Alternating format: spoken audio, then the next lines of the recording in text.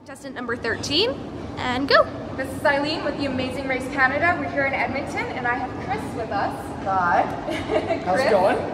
Are you ready to have an amazing day? I'm, I'm, I'm ready. I'm Perfect. Ready. Let's do this. Okay, grab one of our clue cards, and let's see what you win. And for everyone watching at home, don't forget, the season premiere airs tonight at 9 on CTV.